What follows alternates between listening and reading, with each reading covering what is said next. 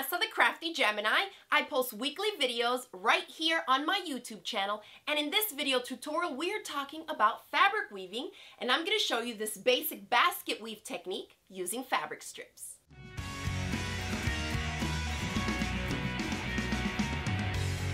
If you're completely new to fabric weaving, no worries because I'm to start you off with the basics. We're to learn how to make this basic basket weave technique and if you notice I used three different fabrics to create this design. Depending on the color you use, how many different fabrics you use, you can do the same basket weave technique but end up with totally different looks. Here's a simple basket weave technique that I made for the panel first, and then I created this really cute over-under pouch, which is going to be one of my new patterns coming out shortly. Now notice this one only features two different fabric prints, and it still looks just as cute. You end up creating your own fabric from just weaving in the fabric strips. So if you think you want to give it a try, keep watching this video. Now let's jump right into the supplies you're going to need so that you too can try your hand at fabric weaving. The key supplies that you're going to need to work on a woven panel are a foam core board, okay, and this is the size that I like to use. I find that it works really nicely. I use the cheapest pins that I have. If I have any bent ones, I'll kind of set them aside. And this is the perfect project to use them in because you're not using them to poke necessarily through and hold layers of fabric. Instead, we're going to use it to hold down the individual strips while we build our woven fabric panel. You're going to need some type of a fabric safe basting glue. Then we have, of course, the key tool to use in these woven panel projects are our wefty needle. And the set comes with both of these sizes. This one will work with your half inch wide strips and the larger one for your one inch wide strips. And just so you have a visual, this is a half inch wide strip that you would weave with this one and this is a one inch wide strip for this one. Now to create these strips so that we don't have any raw edges exposed on the side and instead our raw edges are concealed underneath, you're gonna need some bias tape makers. They come in a variety of sizes. The ones that we're using are obviously the ones that need to correspond with the size wefty needle that we're using for the finished strip size. So the smaller one is the half of an inch wide uh, bias tape maker. That will work with this. If I'm working on a project with half inch strips, right, I'd use these three things. And then if you're working on a project with one inch wide strips, you use this. Now just to give you a visual, I'm going to give you a sneak peek of a new pattern that I'm going to be releasing soon. And it's going to be for these two little zip pouches. You can see that they look totally different, but they both feature woven panels. This one was obviously done with the smaller strips, so I used a half inch wide wefty needle, half inch wide strips that I made with my half inch wide bias tape maker. Super cute, simple, and very cute and handy. Great gift project. The larger one was done in a more uh, simple like basket weave technique using one inch wide strips and the half, or excuse me, the one inch wide wefty needle. So larger strip, this, and this larger panel.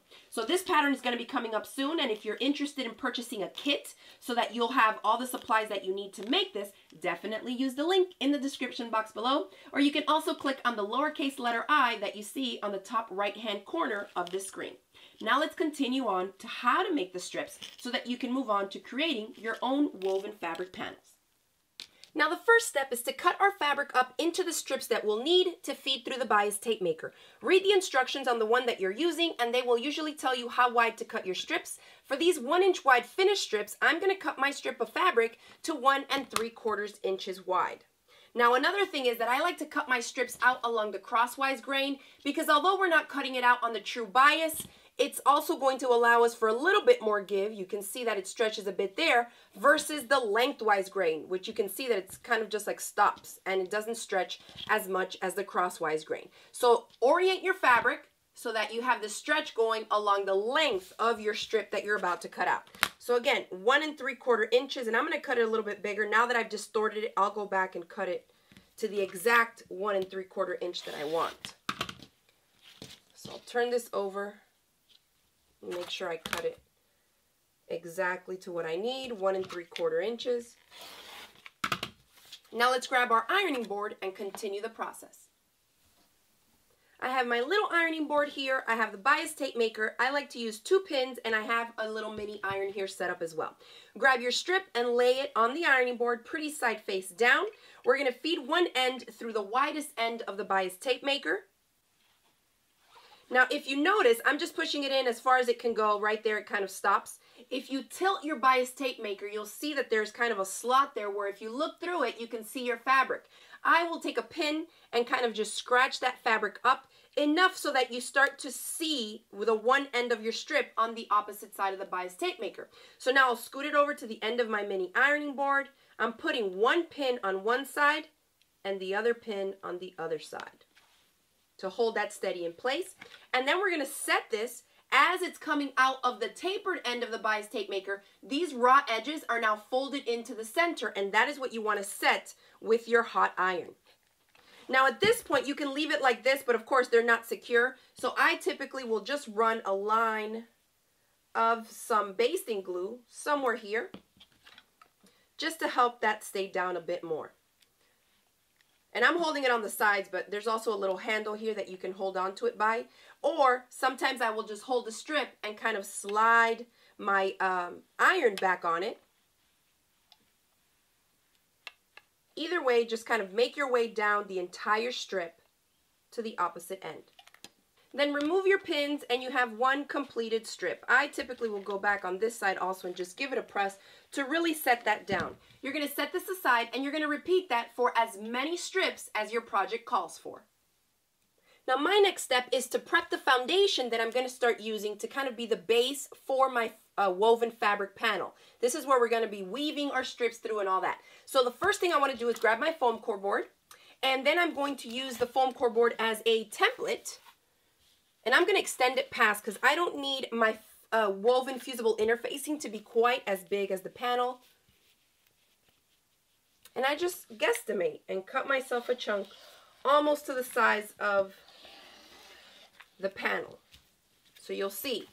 This is obviously going to vary depending on the panel that you're going to be creating for your specific project. So here it is. Now I have laid this on here with the bumpy or rough side face up because as I create the panel of fabric strips woven on top, I'm at the end of it going to fuse it. So I want the adhesive side to be underneath as the fabric strips are going to be uh, attached to the top and that will hold it all together to create one solid fabric piece that then we can go back and use for a variety of projects.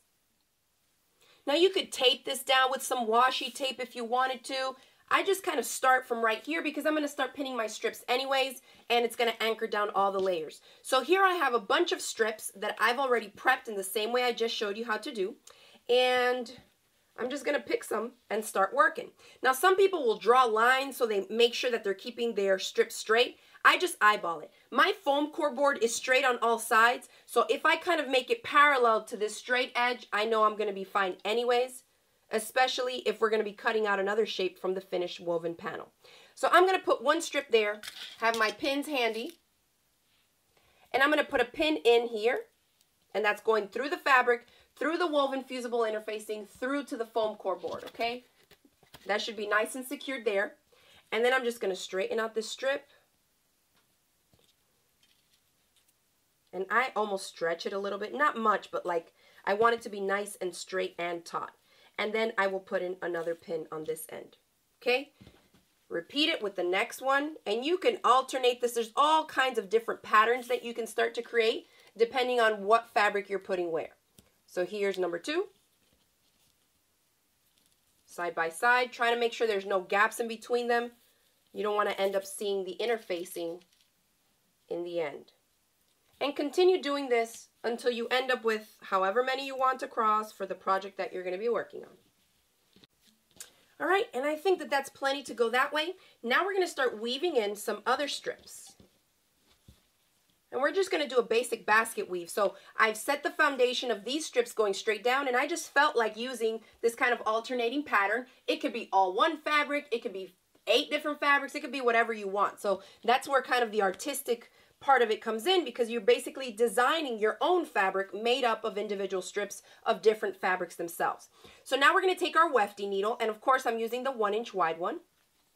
I'm going to feed it through here. Imagine this is a needle, and this top opening is the needle eye. It's like you're threading it. So I put it so that I'm feeding one end of the pretty side of the fabric through there.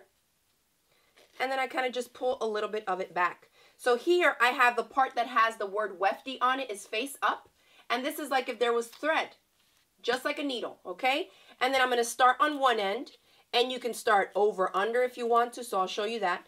Over the first strip, under the second, over the third, And here's something that comes in handy. If you do them nice and taut like me, you'll see that you might have trouble getting underneath the strip. So that's why I always, no matter which needle I'm using for the project, I always try to keep both of my wefty sizes near me.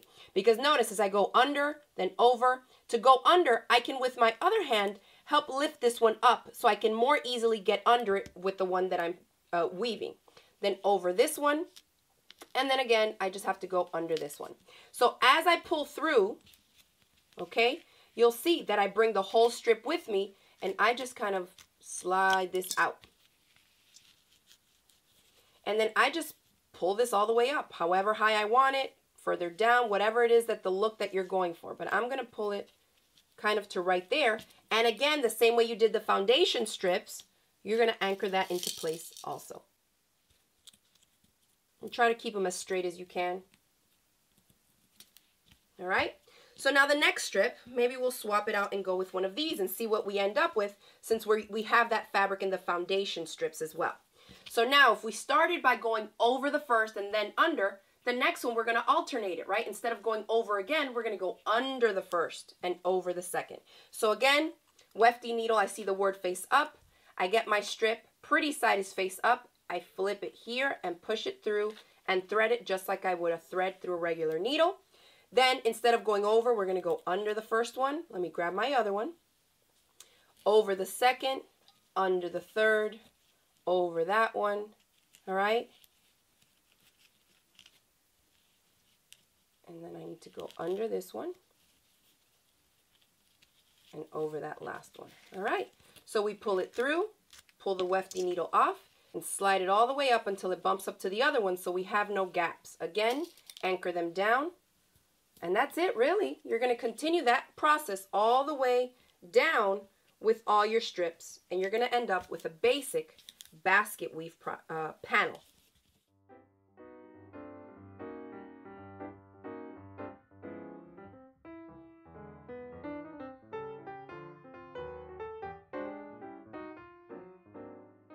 Now, as I do the next strip, some of you may be wondering, well, why are you using the wefty needle? Can't you just weave it by hand? And you can. So I'm going to show you how to do it by hand, and you'll see how much more convenient, easier on the hands, and quicker it is to use the wefty. So let's see. The next strip needs to go under, over, under, over.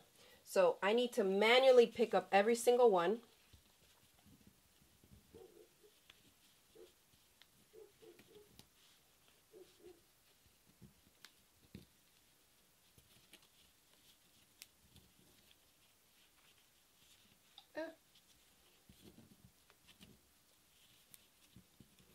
And so you can see that for a small panel, that still took me a little bit longer, but it's not too bad. If you're working on a larger piece or something that has dozens and dozens of strips that you need to pin into place, forget about it. Your hands are going to be aching by the end of just a portion of the finished panel size. So I do recommend the Wefty needle and we do carry it in my online shop right now. I always include links on where you can get the stuff in the description box below and also by using the little letter I on the top right hand corner of the screen. So I'm going to continue doing this and I'll meet you back here when I have the entire little panel completed.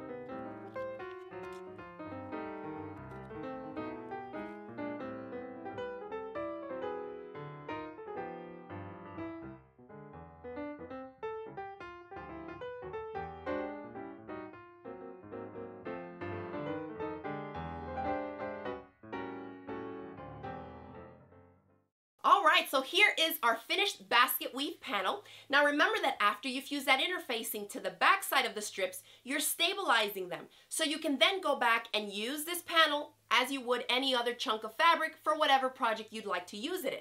Now if you enjoyed this video tutorial and you'd like to try your hand at fabric weaving, remember that I always include a link in the description box below the video and that has links to pages on where you can find the supplies, tools, and materials featured in the video tutorial.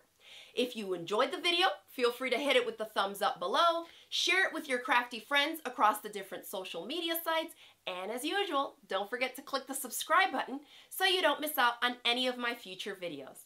Thanks again for watching, and I will see you in the next video.